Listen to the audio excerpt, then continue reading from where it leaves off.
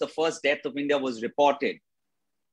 And uh, uh, that's how the timeline span. We started getting more and more number of cases. It spread from Kerala to Maharashtra, from Delhi, and then finally from Jammu to Kanyakumari. It was all across the country. We had the first peak. Then came the, uh, uh in May of around 19th or 20th, we reported 100,000 cases a day. That was huge. Then arose what we call as the second wave. And the second wave uh, actually was first reported in May, 31st of May 2021. And uh, it is it continued to spread till September, October, November, all across the globe. It caused havoc across, right from Italy to America to my fellows in Australia. And it was a terrorist, almost like an attack of terrorism in India, where hundreds of thousands and millions of people got tortured and several of them died. And our condolences to all of them. Now, what happened? Unfortunately, this, uh, uh, this new variant called the Delta variant started uh, behaving different from the first wave, from the alpha, beta, gamma. And this was called a variant, a variant of concern. So there are variant of interest. That means there have been several other variants in the past, which have just caused interest to the epidemiologists, to the virologists, and variants of concerns have caused widespread diseases. And that's how this second wave started. Unfortunately, this wave uh, had uh, loads of infections, hospitalizations, and death. And this is terror. This is like terrible.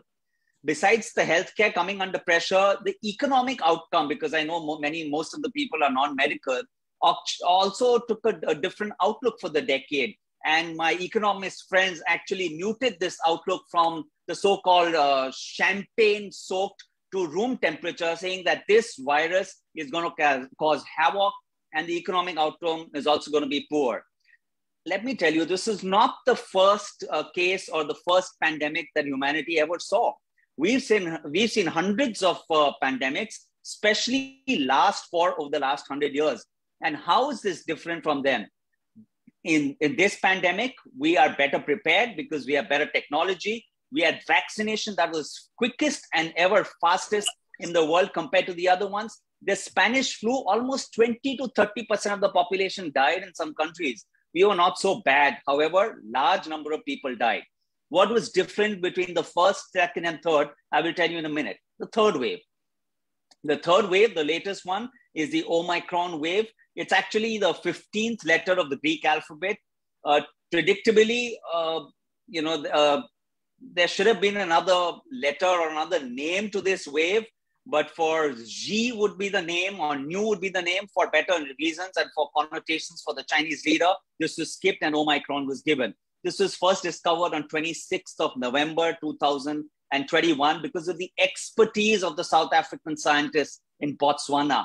And this was found to be very, very infectious. So the R naught value, what we talk medically, is when one person can infect how many other people? This is almost 50 to 70 times more infectious compared to the Delta. And we all remember Delta, the horror stories of Delta. So this is very, very infectious. What's different between the first, second, and third? In the first wave, we were not prepared. We didn't have treatment. We don't know how this virus would behave. Second wave, we had better equipments. We had better drugs to treat our patients with. But this is a very, very virulent strain. It was infectious, two and three times more than the alpha, beta, gamma, but it was more deadly, more virulent, more people died, more people ended up in ICU and hospital compared to the Omicron. The Omicron, the current wave that you're in, typically affects the upper respiratory tract. It causes cough, fever, sore throat, and body ache. It by and large does not penetrate the lungs, so you don't get more number of patients getting lung involvement, going to the ICU. But let me tell you, uh, my words are very cautious. I say you do not get by and large it does not mean we've had patients who've come into the ICU and on the ventilator, presumably because of the Omicron. So we need to keep our guards on. It's certainly not uh, as, in, as ferocious as the second one, the Delta one. Why is this less ferocious? Is it because there is a change in the mutation? Yes, one, of course, the change in the mutation. But let me tell you, there are 50 mutations on this spike protein of the Omicron compared to seven and eight from the previous alpha, beta, gamma. That means it can change its behavior over a period of time. But what's historically proven most beneficial has been the vaccination. The vaccination drive across the globe, particularly in India, where we vaccinated more than 157 crore people. Almost 65% of our country is doubly vaccinated. And that's, that's uh, 49% uh, of our country is doubly vaccinated, 65% singly vaccinated. And those numbers may, sol- uh, may sound small, but that's the largest single number of uh, people getting double vaccination. Worldwide, there's only been 50% of people who've been vaccinated, double vaccinated. So we are right there, a country with an average GDP spending of less than 1% on healthcare, massively populated, and poor infrastructure by and large, but great going by the government, spreading the awareness of vaccination, reaching vaccination to smaller states and towns and villages, and making sure people have got vaccinated has been the foremost honor to prevent us from getting a severe disease. How will this turn out to be? I'm sure Dr. Sunil will want to know that or want to ask me that. Well, I think this wave has been very, very quick. There's been a sharp upturn, uprise, and uh, I would say Mumbai is almost peaking out at this moment. The rest of the country will start peaking in the next two and three weeks. And I expect this down wave to be equally sharp. It may not be as prolonged as the Delta wave or the second wave of September 2021. With this, we are in a wave. We must keep our behavior appropriate. I urge all vaccine skeptics, all the citizens to go ahead, take the vaccine shots if they've not taken it, take the third shot, or so called, the government calls it the precautionary shot, so that you are better prepared to fight this virus if you were to get it. Don't be a skeptic to say that the virus is more harmful. It has now been beyond doubt that the vaccine is much more protective than any other thing and continue to have your COVIDian appropriate behavior, which is putting your mask up in the correct position, trying to keep a physical distance, and washing your hands. This virus is here to stay. If I start from December 31st, 2019, and if you were to give me a date when it's going to end, I'm no pundit, but I think this date has an infinity date. This virus is going to be here for our lifetimes. Dr. Sunil, I think we can proceed to the next ones so that there are more questions and answers. Thank you. Thank you, Prateek. Very, very lovely overview of the whole situation. Uh, Dr. Deepak, I'm going to come to you. Uh, what is in Mumbai? What is the situation in the hospitals now?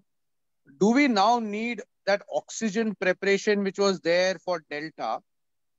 Has Delta disappeared completely? And I'm going to ask you a very prevalent question has our section, I know in Mumbai we have two complete different uh, population sections, one in the slums and one in the buildings.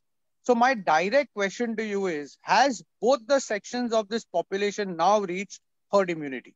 And are we ever going to reach herd immunity? So Dr. Deepak, can you answer these four or five questions for me and any other points you may want to put up? Yeah. First thing about uh, your first question, uh, can you repeat the first question, Sunil? I'll, uh, so my first again. question is, how is the hospitalization yeah, situation in Mumbai at present? Yeah. How many Done. deltas are there? So how many delta patients are there? One, one at a time, Sunil. I'll miss it yeah. over again. So in that, as a direct question, that how many delta patients are admitted? How many non-vaccinated are admitted? And how many Omicron are admitted? Let me start with what uh, Dr. Pratik left behind. When we started in the first phase when we were involved with the government and we were trying to help out and we were seeing how to uh, things i'll just add to the history one we did not know what is going to happen that time we did not have any knowledge of the disease second phase so there were multiple admissions and multiple deaths that's why in front of us people going to the bathroom just collapsing and dying we were absolutely without any knowledge and know-how of how to treat this particular disease in the second phase delta we were better prepared as far as the medication is concerned, but we are not prepared as far as the infectivity of Delta was concerned. Delta was a serious disease. Patients came on ventilator. There was a severe stress on uh, bed as well as oxygen, and even the resources of medicine was severely constrained. In the third phase, we were prepared with medicine, bed, everything. But luckily, the third phase has not left us with any severe morbidity or like kind of a disease status. What we call this third stage just now is more of a COVID flu. Some people may not like to call it, but I would say that because majority of the patients are like COVID flu, like a common flu. Now, when uh, Sunil, you asked the question whether it has affected the bed, Initially, the government said that if the COVID status reaches beyond 20,000 cases per day in Bombay, we will have a lockdown. We realized that no, number of cases are not getting admitted. So it is not the number of cases which were important, it is the number of beds which were being filled up, the resources which were being constrained, the oxygen which were being uh, reduced, the number of uh, requirement of oxygen were increasing. Only then we started thinking that we will have a lockdown. Only the health structure was going to be affected. And that is the situation of today. Today, we have n number of cases coming in. In fact, what we have postulated is the number of cases will go beyond per day cases as more than the Delta wave across the globe. Even in US, we are seeing more than 6 lakh of cases plus per day. Even UK and other cases also, as uh, Dr. Will tell you about UK, many, even in South Africa, number of cases are going to increase. As rightly said, that it is a very severely infected disease. Like, you know, if the transmission is huge, everyone is going to get it. One person in the family gets it, everyone's going to get it. Then what are we worried about? If it's just a simple flu and everyone's going to get it, what are we worried about?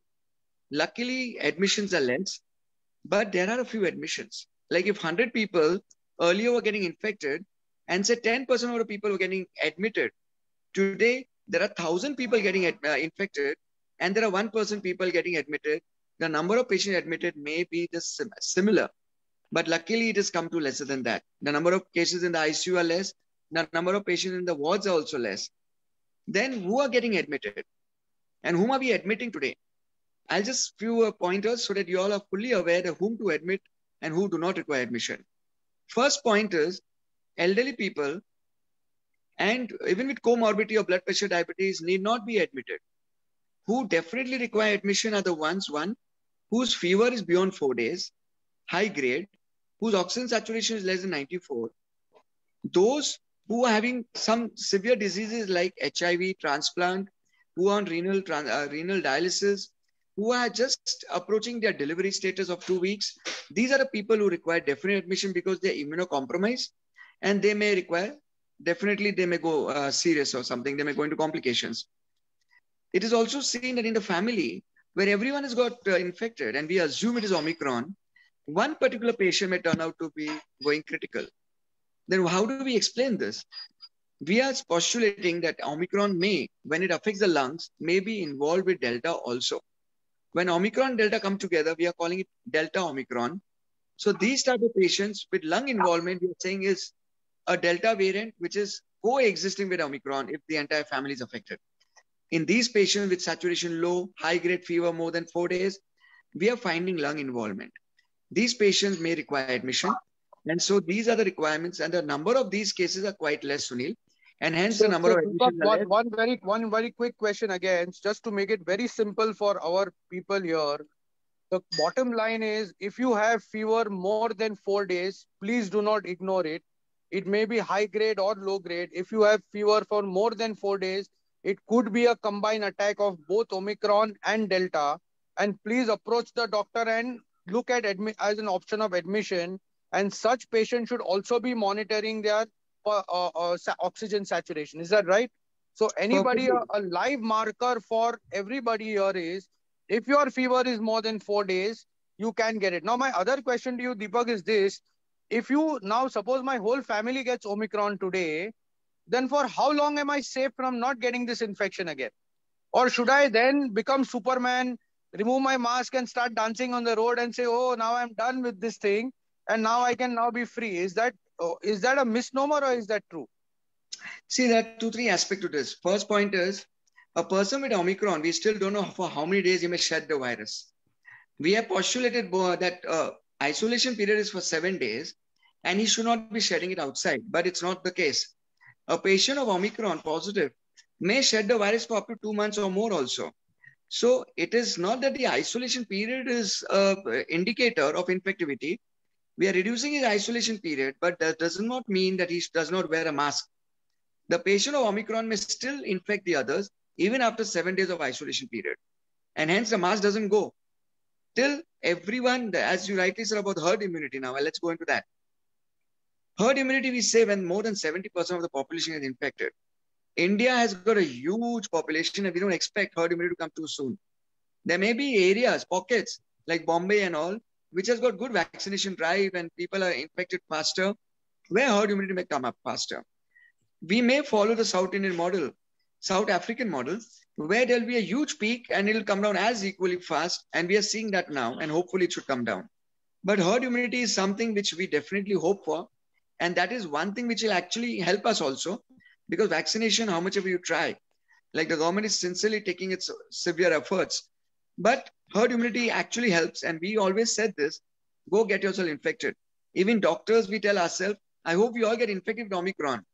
Because Omicron, we say that infect any disease gets immunity for at least three months to us. It doesn't mean we do not share it to others, but the immunity remains for us. So if we are not, if we are removing the mask or something like that, it's not that we can remove the mask. We may not get infected, but we may still infect others if it is there in our nasal secretions. That is the reason we, Sunil, we do not remove the mask. So if somebody has got Delta, can he get Omicron? And if somebody got Omicron, can he get Delta? Absolutely.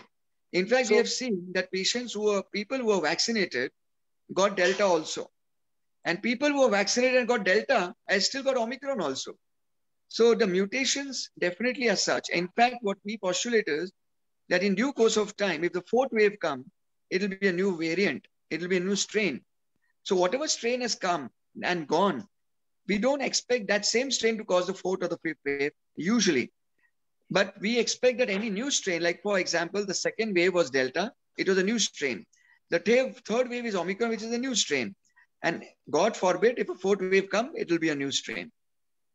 Thank you, Deepak. That, that was very, very pertinent and particular uh, uh, information. Now, one last thing to both Deepak and Prateek. I true tr- strongly know and I believe that technically at present for Omicron, we don't have the treatment in India. Am I right? In quick, uh, one of you both, either both can answer it.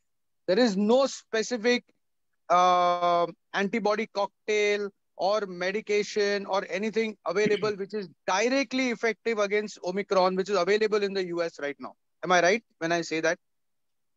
So, uh, okay, Dr. Deepak, you want to go ahead? No, you go ahead first. Okay. So, well, the antivirals that are available, one the oral and the injectable, have not shown that they will not work against they will not work against Omicron. The very fact that Omicron is a milder disease, it literally means you don't need any specific treatment. You need only supportive treatment. That's point number one. You spoke about monoclonal antibodies. You know, the Roche literature, the manufacturer of the monoclonal antibody, casirivimab and imdevimab, which Trump took in September 2020, categorically writes that drawing the initial specimens or period of studies in a small number of people, this antibody cocktail has shown to be less effective against some strains of the Omicron. What does that mean? It does not say it's not effective. It does not say it's not effective against all, all the strains. So I would feel that until we get more data, whatever is available, if you have a high risk patient, I think we should offer him the best that's available. Thank you very much. So now, yeah. now that, uh, sorry, I'll add on to that. See, the question is not what medicine is effective. The question is, should we treat? Do we require treatment? So the first issue is, if it's Omicron, we do not require treatment because it is restricted to uh, areas like the upper respiratory tract infection and it doesn't affect the lungs. If we say it doesn't affect the lungs, we do not require treatment, whether it's monoclonal antibodies or anything. In order to say that you require treatment, you need to have some criteria fulfilled. You need to have fever more than four days. You need to have saturation less than 94. You need to possibly have a lung uh, involvement. You need to be in the high category risk group, that HIV or something which is immunocompromised. In those cases, we need to give monoclonal antibodies or we need to give remdesivir, or we need to give any other medicine which is required, which is and possibly. That might, that might also, again, not again, so that might also come into a mixed infection of Delta and Omicron. So please note, people, a, a, a take home message here is that the most critical part in this wave is if you have or if you know anybody that has fever of more than four days, it could be a Delta Omicron combination or a Delta and not Omicron. So don't take it lightly and secondly, there is still a possibility that amongst all this Omicron, you might still get the Delta virus. And if that happens, you might still end up in the hospital. So please don't take it easy and please don't attend COVID parties. So from flitting from here, let's fly over to now to uh, to the US, and which is the most affected country at present. Uh, uh, the, the uh, somebody is asking what about the cocktail that is the monoclonal antibodies is the cocktail that we are talking about. And at present it is only helping in people that have fever for more than four days. Or as dr baid maintained has so many of other comorbidities. And it is only for the doctors to decide who will require it. So uh, coming across to you dr ashish what's the situation like in the us and uh, as us Indians, and we have a lot of parents who have students there. Uh, is it safe in the US or are people dying on the streets? Uh, do you have like Ganga with bodies floating around in it in the US or uh, is it just like a press uh, overblow of situation in America? So can you please tell us and can you please also tell us a little bit about Pfizer and Moderna versus the vaccines we have avail available here? You have a quick five minutes, Ashish. Morning, everyone and uh, wonderful uh, five minutes from Prateek and uh, Deepak. Now, real quick, just to come to the point, Omicron is highly infectious compared to the previous variants, but it is not as deadly. As uh, Prateek and Deepak mentioned, it mainly affects the upper respiratory tract, and for the most part, it spares the lungs and hence you don't see that many hospital admissions. You don't see those dire images of people just dropping like flies in the hallways and all those deadly images that we've seen in the last year or so. Coming to your question about is this you know more uh, that is what i gathered. Is it more how, politicized how's the, or the situation in america How's the Sorry? situation huh. in the US? Right. So people kind of sort of have come into this mind frame that we've got to learn to live with this now. This is not going anywhere. This is not a finite uh, problem. And this is most likely going to become like the flu. It's going to become endemic. And in fact, uh, Thursday was when I think uh, the government of Spain finally declared it as an endemic and they pretty much told the people that learn to live with this thing it's not going anywhere now when you say learn to live with this i mean are we talking about uh, let's let's pull off the mask and let's uh, no. let's now give up all our uh, precautions and live normally just the way we used to or what does learning no. to live with this mean so in fact what they've said is uh, forget pulling off the mask, they've said upgrade your mask. So here in the US, especially in the smaller towns, people were very used to wearing these cloth masks from home. And or maximum they'll wear a surgical mask. And in fact, uh, now the latest guidelines are coming up saying that you need to upgrade it to an N95 and if not an N95, at least a surgical mask, but definitely not the homemade single layer cloth mask, because that is not doing anything because of the infectivity of this uh, virus, the Omicron. And how's how's life there? Is is like is our restaurants open, movie theaters open, malls open? Yes, yes, People everything is normally? open. In fact, uh, I'll just tell you about us. After two and a half years, for the first time, we took vacation we went to Hawaii over the holidays.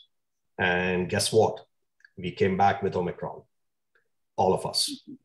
And uh, we were five families, and four families tested positive.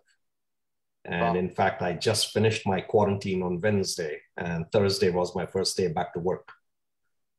And so, personal experience, it is upper respiratory tract, just nasal congestion, runny nose, body aches, and some headaches, and that's pretty much it. No lower respiratory symptoms, no shortness of breath, pulse ox doesn't drop. So, so that was that was the good part of it. The bad part of it was had to sit inside for 10 days. And as soon as I finish my quarantine and go back to work on Thursday, there's a system wide email that now we've lowered it to five days. and uh, seriously, you know. so anyway, uh, as far as my, my, uh, treatment next, goes, my next direct uh, question to you is sorry, go ahead. So my next question to you is this: A, are there any new magic treatments uh, for the people who get serious with Omicron? A and B, uh, are there any new vaccines which will take care of COVID permanently, which is coming out in the US, or are we going to keep popping vaccines every six months? Okay, so to answer your first question, as far as treatment goes, you know, the initial uh, monoclonal antibody concoctions that they had, and I'm actually looking at my notes here. So, so there was the bamlanivimab and uh, este, uh, etesevimab, that combination. And the second one was the casirivimab and the imdevimab, that combination. So both these combinations are found to be very less effective against the Omicron. And it is to the point where here they don't even use those uh, monoclonal antibodies anymore because the predominant vari- variant is the Omicron. And so now we pretty much use the sotrovimab. And sotrovimab is in such uh, limited, uh, has such limited availability that uh, it is highly regulated by the state. I mean, it is to the point if I were to give it to my family member, I would have so much difficulty getting it. And it's a single dose, it's uh, 500 milligrams, it's given as an IV infusion, and it works. It works very well for uh, Omicron. Then, regarding the oral agents, there are two there is the Paxlovid, that's made by Pfizer, and there is the Molnu, Molnupiravir and that is not as effective. So Paxlovid has about an 88% efficacy, whereas uh, the other one has just about a 30% efficacy. Right. And so clearly the CDC guidelines says that you do not use uh, uh, molnupiravir as a first line agent. You only use it if uh, Paxlovid is not available and the patient needs to understand that it's only going to be 30% efficacious. So, but they are there. They are all there. They all have so, very so rigid a take inclusion a take criteria. Home message on, a take-home message on that is against Omicron, there is no monoclonal antibodies currently available in India. Uh, the one that is available in the US is very, very limited, and the oral medications have very little limited effects. So we should use use these medications in very, very limited forms and only with doctor, uh, proper God doctor guidance. Now, my next question to you is, Ashish, is, you know, we are all taking vaccines. Now we are taking a precaution dose in India. Uh, should we uh, mix and match uh, the vaccines, number one? Um, and uh, number two is, let's assume I have taken my two vaccines and then I've got Omicron.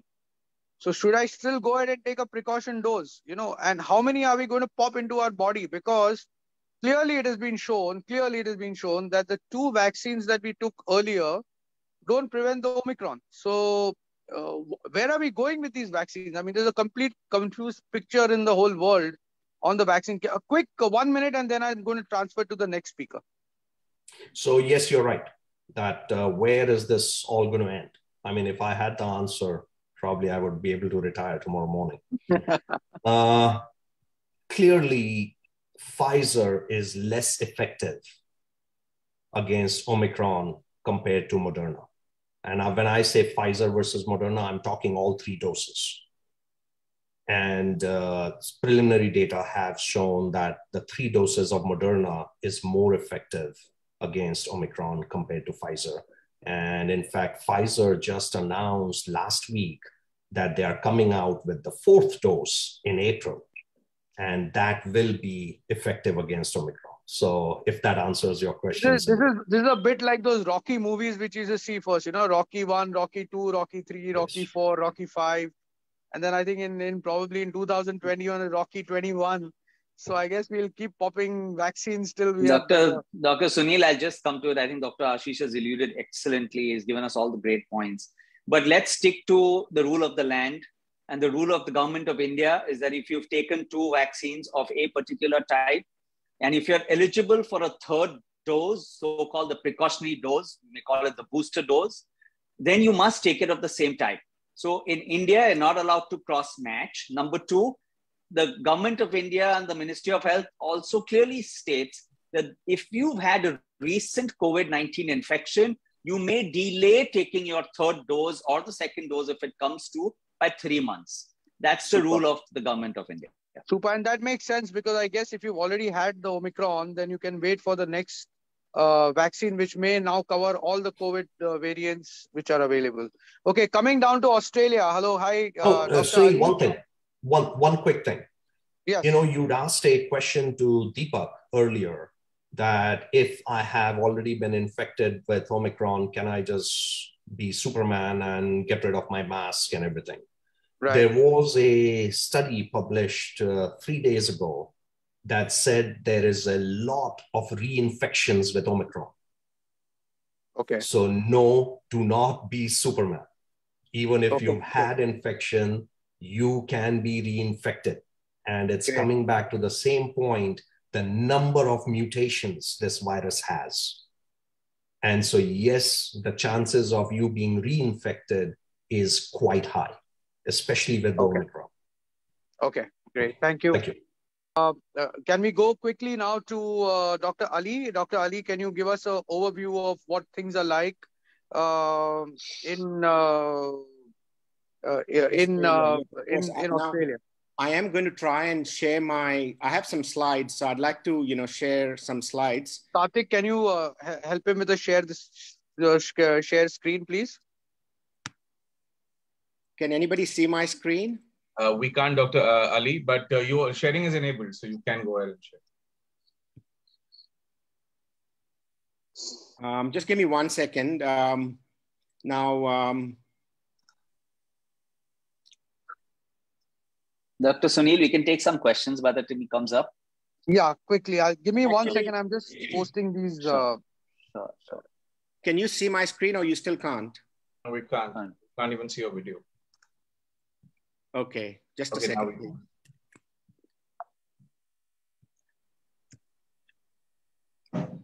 So can we, while while you're doing this, can we flit over to UK and uh, get an overview of UK? And yeah, I think that might be better. Yes, please. Okay. Yes. Uh, so Dr. Potdar, can you take over, please? Uh, how's the situation like in UK? And from all the things that we've heard, what is different uh, in your course of management in the UK? And uh, uh, any because you have always been ahead of India, three months ahead uh, what is the situation? Because we expect something which we will follow uh, as soon as you know your wave ends. Yeah, we, we bear the brunt and then you get all the pleasure of, getting. Well, I mean, first of all, it's a very tough act to follow after all these lovely and great speakers who have given us such information, especially from Mumbai. It is absolutely fantastic, you know. And they have actually, you know, got right on the tap saying what is happening currently, which is very important. Before I actually start on with the professional talk, first of all, I'm a oncoplastic reconstructive breast surgeon. I have no clue about COVID and how to treat it. So now why Sunil has chosen me, I'll tell you why. I know Sunil from the age of three. His mom and me, we were classmates. And in one of the birthday parties, which they used to have a lavish birthday parties uh, when he was two or three years of age, I brought him a gun and till the time he went to the medical college, he always thought that I was a policeman.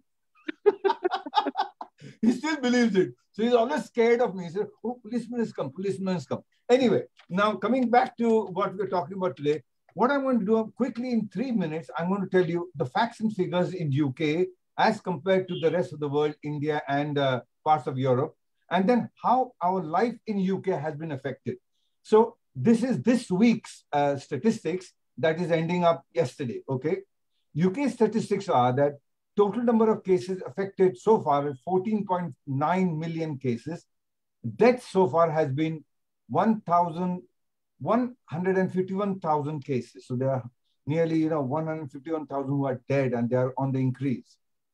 Now, the total number of people who are vaccinated in UK, fully vaccinated is 70%, partly vaccinated 66.2%, making 76.2%. And this is for all the population age 12 and above. The booster dose uptake is 35 million people, that is 62.5%. Approximate uh, rates of admission as of this week is 15,500 per week, and this has increased due to Omicron and also laxity during the uh, Christmas holidays. Now, compared to this, in Switzerland, fully vaccinated people 67%, partly 2%, total 69%. In India, I believe as of today, fully vax is 46%, partly vax is 18%, total 64%.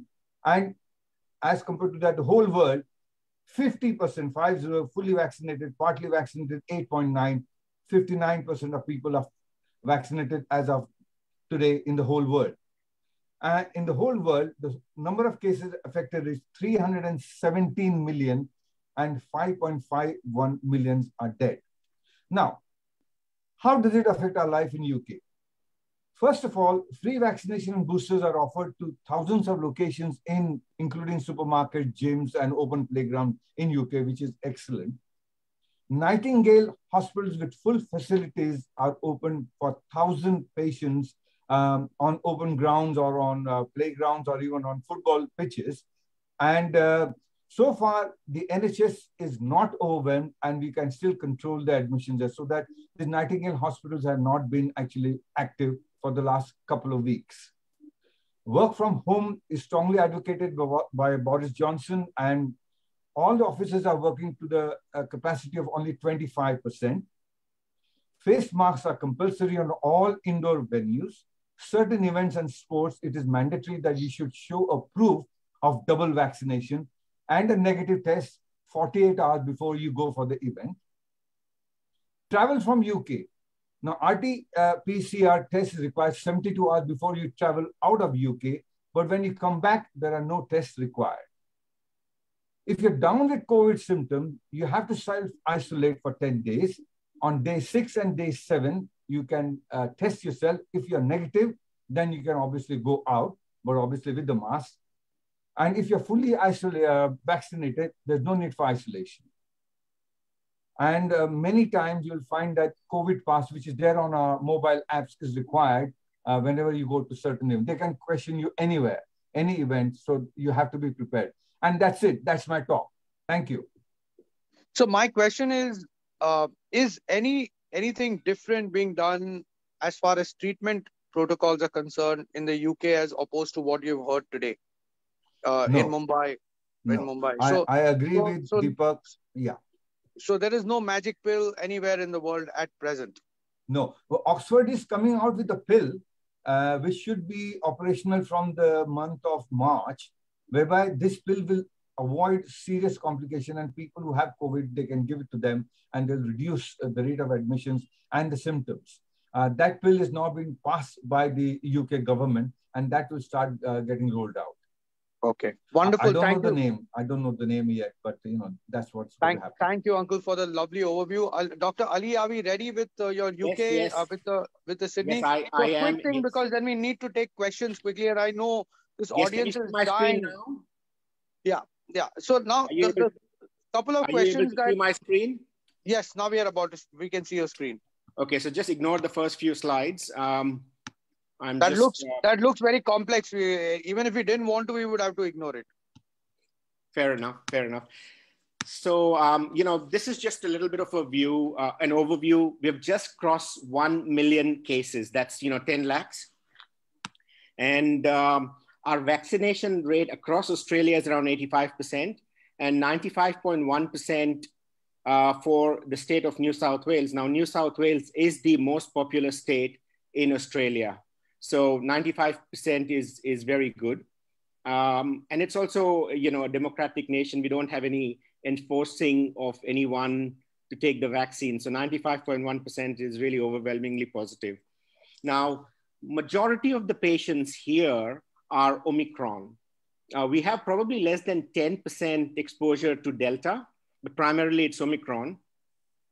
And uh, we were very fortunate also that um, we did not experience um, you know other waves due to the very strict border policies. I mean, you know, Australia was Australia closed its, uh, its, its borders for like two years.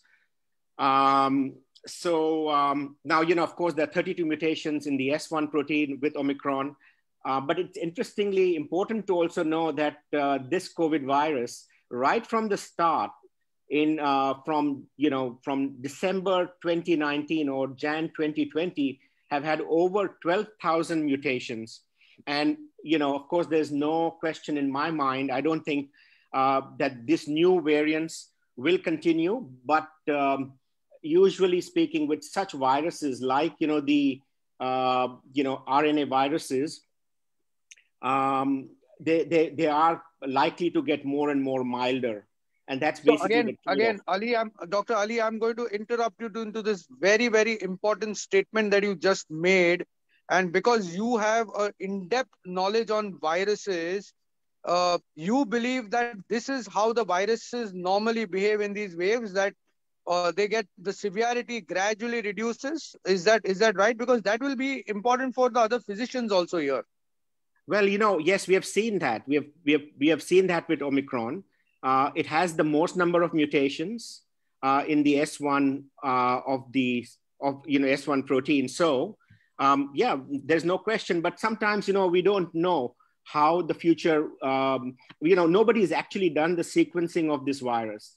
Um, and so it is then become it becomes very difficult to know uh, you know what the variants may be. But generally speaking with uh, you know rna viruses of this kind uh, the probability is that yes uh, it's going to become more and more uh, milder and we're clearly seeing that with this with omicron. So so, so, so that's the first good news we've had in this whole meeting so far that uh, that there is a there is a possibility that the virus is now basically gradually becoming milder and it may with herd immunity reduce uh, the impact it has on the world of course there may be more variants which may come but yes. gradually we might see lesser and lesser massive affection of the world as opposed to now. It may not be over but things may look better. Am i right? Can i say that? Yes you can definitely say that. And you know look um, uh, i think dr pratit initially mentioned about uh, you know the virus, uh, the Omicron virus coming from Botswana. Now, um, you know, um, the yes, so the sequencing was done in South Africa, but the virus actually came from Northern Africa. Now, I, I refer Northern Africa over here is because the apart from South Africa, the whole of the African continent, you have like 1.2% of the population that is immunized against this virus. So you have a lot of mutations coming from Africa. And, uh, you know, once Africa gets those mutations, then the whole world is going to get those mutations because we live in a very global society now. So, um, sorry, uh, so it's important to sort of, you know, uh, be socially responsible here and ensure that the vaccination is far and is, is equitable to all the parts of the world, including, you know, Africa and poorer countries as well, which has not been the case. And so, you know, we have seen this Omicron virus rise um, yeah. Okay, so th- that's wonderful. Uh, the, the the the point is, I don't think it's in anyone's hand to kind of hand over vaccines to Africa, but we can expect probably the next variant to re come from there. But wouldn't it also mean that if Omicron is spread so fast into Africa, wouldn't they start getting herd immunity? And this is God's way of kind of uh, uh, equitizing the fact that there are no vaccines there with uh, a, a, great round of infection, just the way we had in the first wave in India. Yeah, absolutely. Yes. So herd immunity is possible, but you know, you have newer variants with newer mut- mutations. So the antibodies that you're talking about, that you get from vaccines, that you get from, um, you know, uh, these different variants are very different. So you need, you have to have newer antibodies. So these variants are going to keep on changing. So when you look at herd immunity, um, you know, I mean, it's it. Uh, how do you have herd immunity against new variants? You see, you will have immunity, uh, so your body will sort of, you know, adapt better to these uh, to these variants. But when you talk about herd immunity, you're looking at large population uh, being infected with the same virus. So um, um, yeah, I mean, you know, moving forward, it is possible for herd immunity, but uh, there are going to be newer variants, and with newer variants, you'll require newer antibodies. And you know, one thing that I want to add uh, from uh, Dr. Baid and Dr. Pratit's uh, conversation here is that the mRNA vaccines, such as you know the Pfizer uh, vaccines, such as the Moderna vaccine, uh, are very, very capable and adaptable to, uh, you know, making new boosters that are suitable for such, you know, new variants. And so Moderna and Pfizer both have actually gotten, you know, the booster shots coming, which will have very high protection against this Omicron virus. Currently, I think it's in the 30%. But, uh, you know, when you look at, um, when you look at, you know, the booster that is coming from both Pfizer and from Moderna, uh, you know, you're going to get high 80%, if not 90. And that is very possible with the mRNA vaccines. Um, with the, you know, AstraZeneca vaccine and with the, you know, uh, Covaxin available in India, uh, the, the, there are limitations. Okay. So that, that is great to know, to, to hear. Uh, I have a, uh, uh, Dr. Ali, can we now hold on a few questions and let's take a few questions from the audience and then come back to you again? Of because course, yes, we're running a little short of Indeed. time. So yes, my, no, no, my first yes. my my first question to all the uh, all the panelists here and quickly answer that quickly answered without going into big explanations. Uh, are we seeing are we seeing in your opinion uh, end of the pandemic which is the which is the the pertinent question here? And i think 100 people have logged on to un, to probably ask that same question. So are we seeing the end of the pandemic we can start in the same order. Dr pratit what uh, what's your opinion so my take, as I said in my first two minutes, this may be the end of the pandemic, but I think it's shifting to endemic. This disease is here to stay. This date of the disease to expire is infinity. Dr. Deepak? I agree with uh, Dr. Pratit, and I think we should follow the South African model and see what's happening there. And uh, unless there's a different mutation coming up again, I think this should go into an endemic, and the pandemic should be uh, well over with. Dr. Ashish? I agree absolutely that I feel the virus is losing its virulence and uh, hopefully, and uh, we are ending and we are ending the pandemic stage and we are entering the endemic stage. You guys know that you are getting recorded, right? Dr. Ali, uh, Dr. Ali, can I get your opinion on Well, this? yeah, I mean, you know, I, I totally agree. I think, uh, you know, uh, we are getting into an endemic state and probably by 2024. And that's basically what the reason I say 2024 is because, um, you know, there's a lot of investment with pharmaceutical companies and the pharmaceutical companies have invested heavily into vaccines till 2024 because that's when they believe that uh, the virus is probably going to be endemic across. That is brilliant. That's that's a brilliant analysis, Dr. Ali. Thank you. Uh, Dr. Potdar, uh, your opinion? Yes, absolutely. It is uh, reaching the endemic stage here. People are lax. Government has not put any further lockdowns, despite uh, Boris Johnson who may lose his, uh, you know, prime ministership. And really, it is helping. Now people are going out, but yes, face mask, uh, social distancing, and the office is still not open. But I feel that uh, Oxford is going to come out with lots of vaccine, which will have the combination or a combo thing. And just like we have every year in the winter a flu vaccine, we are going to have a, a COVID vaccine, which will have all these variants from next year.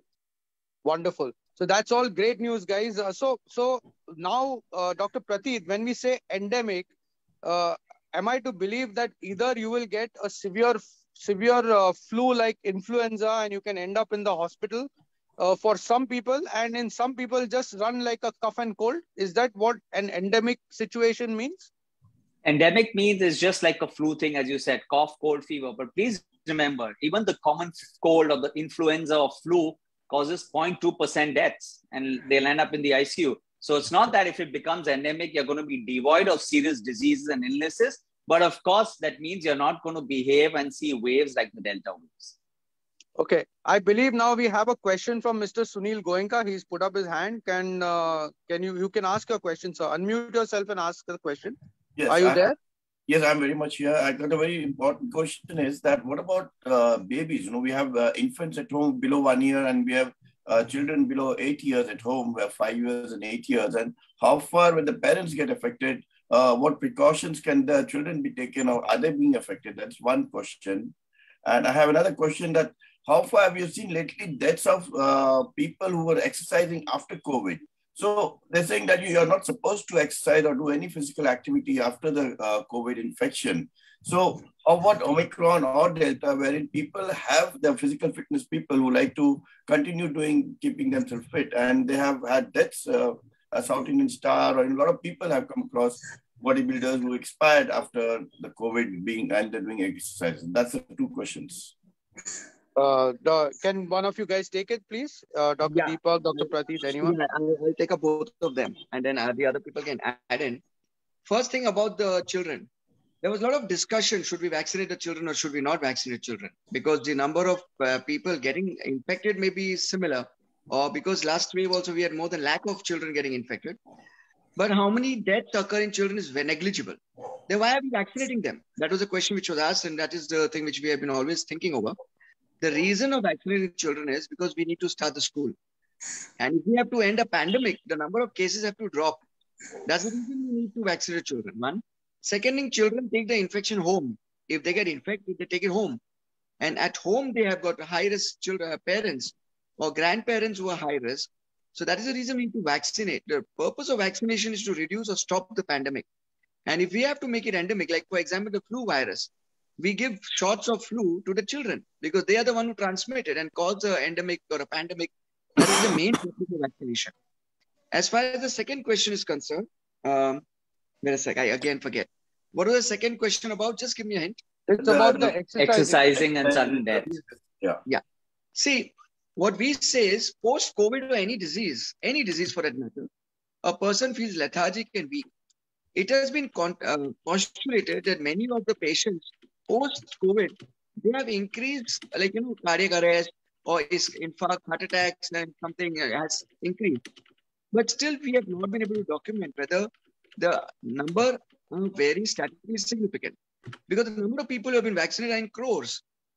And the number of people who have gone into complications are very few compared. So statistically significant is the thing which we look for.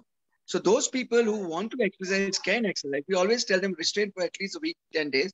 Because in the initial two, three days, we, we develop fever. We develop some kind of a response. So at least for one week, 10 days, if it's possible, mm-hmm. avoid physical activity, avoid too much of exercise. And then you can gradually increase because now you're able to cope up with the vaccination, the effect of the vaccination also. But the vaccination causing death, or vaccination causing heart attack, during your exercise, first check for yourself whether you are predisposed. Do you have a strong family history of heart attack? then I think you should be careful. Avoid for some time. If you do not have a strong family history, I think you can go ahead and start exercising. I mean, the problem is that non-symptomatic. But uh, it doesn't answer my first uh, question.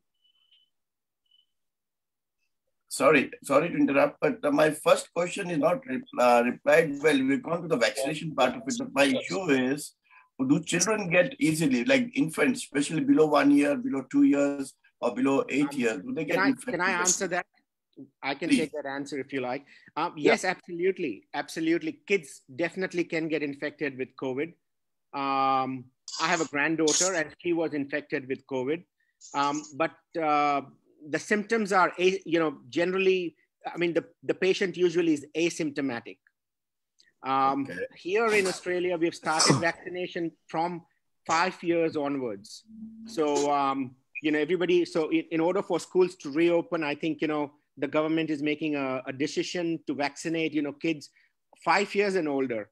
Um, but yes, I mean, if you look at the early data, not just with Omicron, but even with the, the beta, the alpha, the kappa, and the other variants, the, um, the mortality rate from uh, zero to 10 years was very, very small.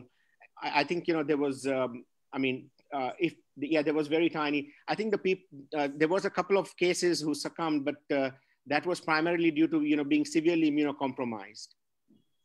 So yes, so, kids can get it, but they're going to be by and large asymptomatic. So not to not to worry, the worry factor comes from children transmitting to more people, and uh, the pandemic will not end if uh, we allow it to run wild. Uh, any other questions, uh, friends? Uh, you can unmute yourself thing. and ask, please. Yeah. Sunny, I'll just add one thing before I forget. You don't need to test after your isolation period is over because we all of us many times invariably land up testing. We should not test.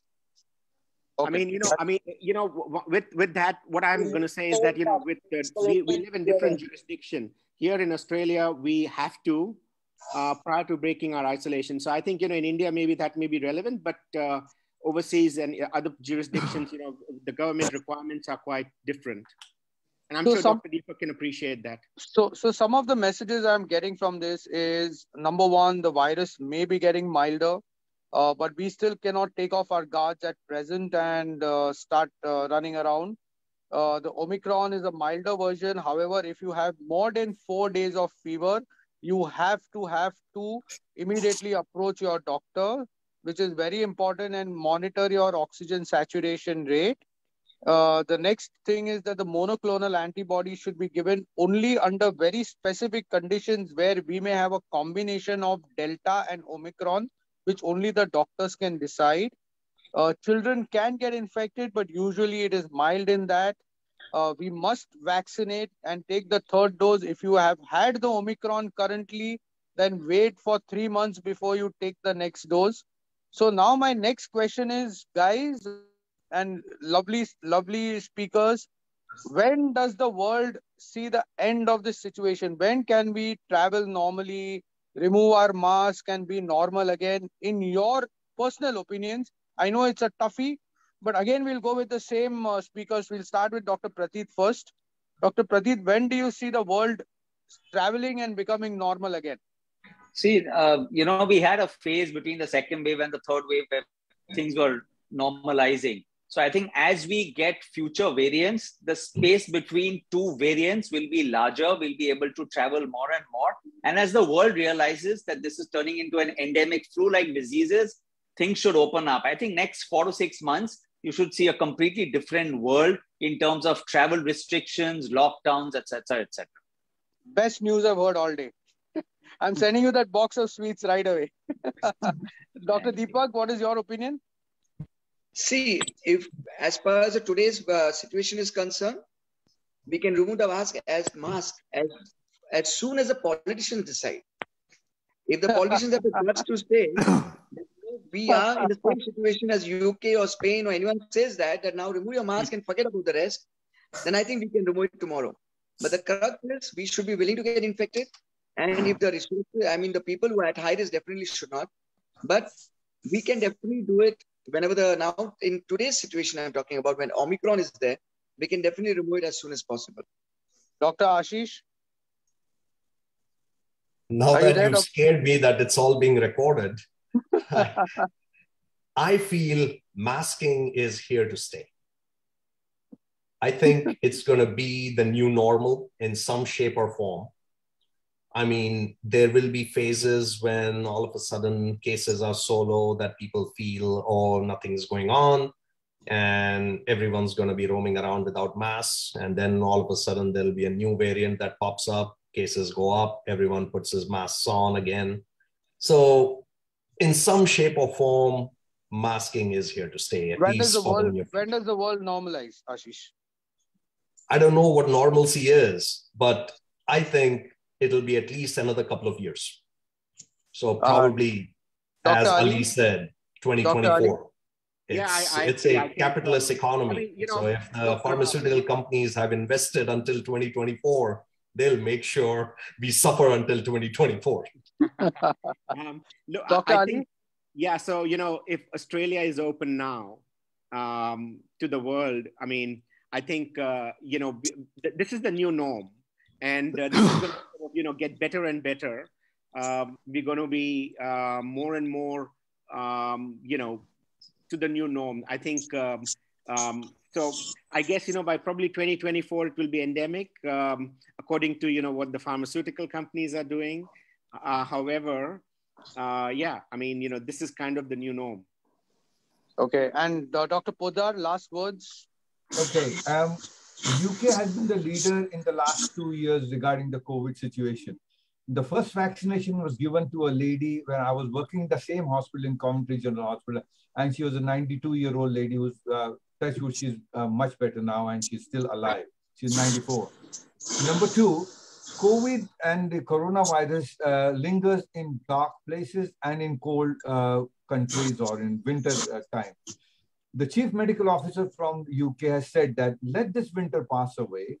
We will assess it, say, in the month of April when it's springtime. see what is the damage done in this current wave.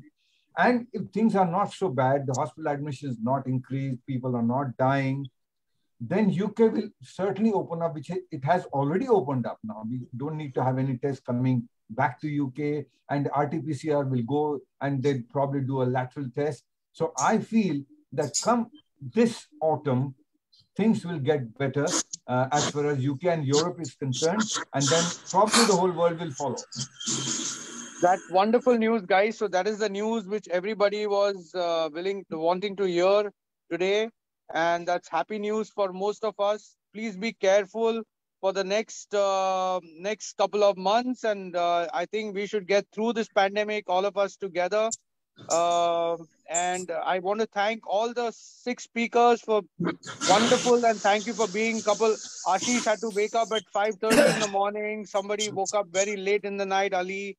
And uh, thank you everybody for being here, taking out your time and giving us so much information. And it's been a great, great uh, uh talk. And for the first time in two years, we are not sitting here and warning people that you might die. And uh, hopefully, all of us will be off and healthy.